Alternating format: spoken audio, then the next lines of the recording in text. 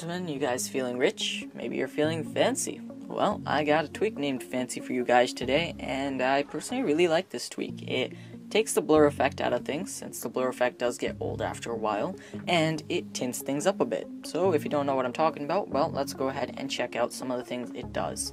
So there's a global tint, which basically means it will replace almost everything on your device. That means like banners and the status bar and all that with a certain color of your choice. And it gives you every color, literally, in a way of speaking. As you can see, you can shade things to a certain extent. Do this, and it's yellow one second. Do that, and it's bright green. Do this, and uh, it's still green, but then it turns blue after a while. I like that blue. So what I'm going to do is save changes after making this a little bit deeper.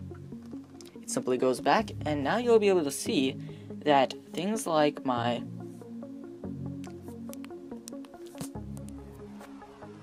Sorry about that.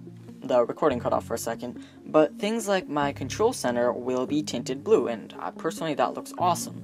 Now as you can see, my background is blue, but that's not what's causing this blue. It's actually the tint itself. So I'm going to prove that by changing it to something like red.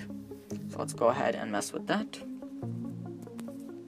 Oh, as you can see, my uh, HUD for the volume is also blue. So that looks pretty awesome. There's my proof, but I'll just do it again. Alright, so now it's a nice lime green. This time I'm going to save changes one more time. Go back. Oh, look, the dock turned blue. That looks pretty interesting.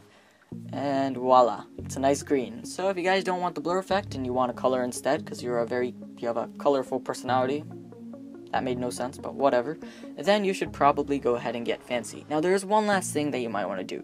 This is not only a list of all the things that you can change, but a list of things that you can tweak one on one. So I could go into banners and change it to hot pink, and I could go into control center and change it to bright yellow, do whatever the heck I want, and it works with almost everything. You can even change the color of your keyboard. So this tweak goes pretty deep, and uh, if you want to contact the developer for some reason, there's info down there. And of course, the lock screen itself, which is still in beta. I tried it out. Personally, I did not like when my lock screen turned bright green. Literally everything turned bright green from like the little camera knob to everything. It looked a little weird, so that's why I'm not going to be sharing that with you. But if you guys want to go get this, then go ahead and tweak with that. Uh, that that sounded awesome. Tweak with that. Thank you for watching, guys. I hope you enjoyed this video. If so, leave a like and subscribe because that makes me feel amazing. Thank you for watching. This is going to be me logging off.